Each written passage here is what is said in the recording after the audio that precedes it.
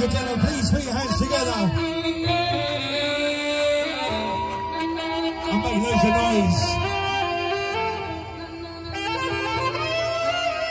noise. First out Abbey Rose.